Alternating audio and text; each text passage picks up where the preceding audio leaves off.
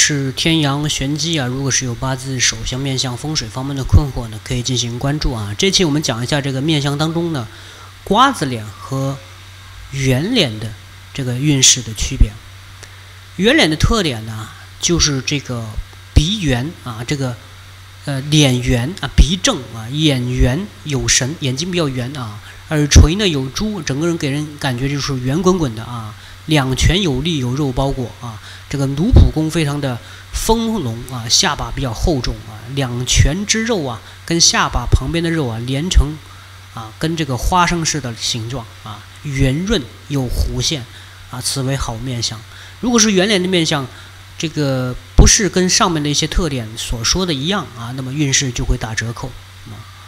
性格特点就是宽厚嘛，善解人意啊，总是面带笑意，对谁呢都是热心肠，喜欢帮助人啊，广交好友啊，人缘极佳，有进取心啊，积极向上，享受生活，但是呢耐心不足啊。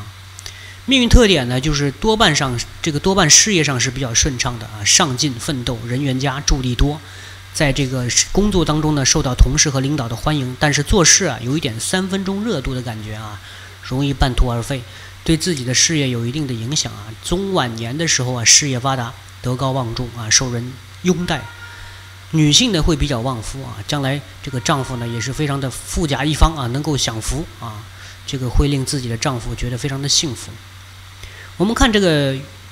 圆形脸啊，圆形脸的他的感情生活，刚才讲是容易旺夫啊，那么瓜子脸呢？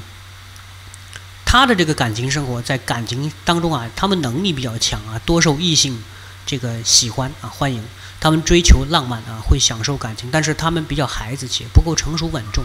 喜欢追求这个求新求变啊，感情多不长久。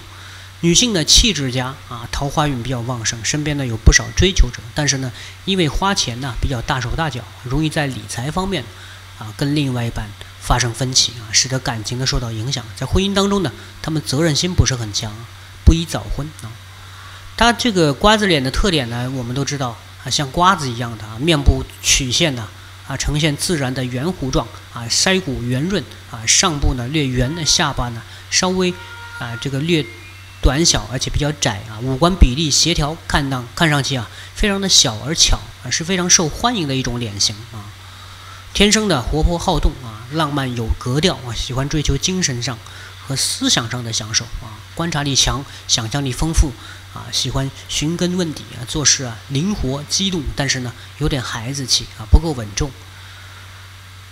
他的这个工作能力比较强啊，自带气场，很容易得到众人的赏识，发展空间比较大，事业运势不错。但是他们做事啊，追求完美啊，有点吹毛求疵的感觉啊，在人际关系当中呢，不是很擅长啊，助力不大啊，多靠自己的获得成功。他们命中有财，但是呢，不用太努力就可以获得财富啊。他们注重享受，花钱快，晚年的运势不是很好啊。好了，有关这个瓜子脸呢和圆脸的这个运势的区别呢，就分享到这里。这里还是天阳玄机，如果是有八字、手相、面相、方盛风水方面的困惑呢，可以进行关注啊。我们下期再见。